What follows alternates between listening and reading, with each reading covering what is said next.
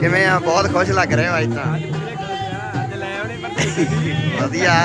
ਕਰਮਾਨ ਲੈ ਕੇ ਚੱਲੇ ਆ। ਠੀਕ ਆ। ਮੈਂ ਤਿੰਨ ਪੰਜ ਚੀਜ਼ੀ ਵੇਖੀ ਮਾਜ ਦੇ ਕੋਈ ਨਹੀਂ ਮੇਰੇ ਕੋਲੇ ਵੀ ਮੈਂ ਵੀ ਗੱਡੀ 'ਚ ਕਾਪਾ ਰੱਖਿਆ ਹੈ ਨਾਲ ਹੀ ਰੱਖਣਾ ਵਾ। ਸ਼ਿਕਾਰ ਹੀ ਪਾਈ ਹੋਣੇ ਵਾ। ਧੋਨੀ ਫੁੱਲ ਫੁੱਲ ਲਾ ਦੇ ਨੂੰ ਚੰਗੀ ਤਰ੍ਹਾਂ। ਚਮਕਾ ਦੇ ਲੱਗ ਨਾਲ ਓਏ ਜਿਸ ਕਰਨ ਘੋਟੇ ਦਾ ਵਿਆਹ ਤੁਹਾਨੂੰ ਗੋਡੇ ਗੋਡੇ ਚਾ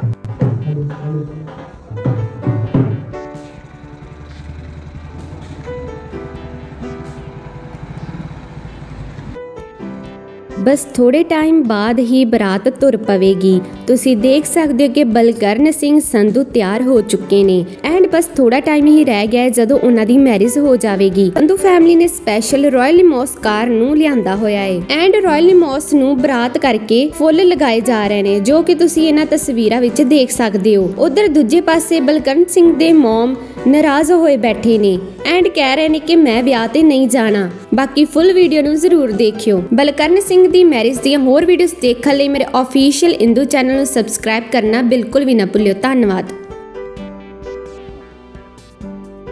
ਲੈ ਲੈ ਲੈ ਲੈ ਲੈ ਲੈ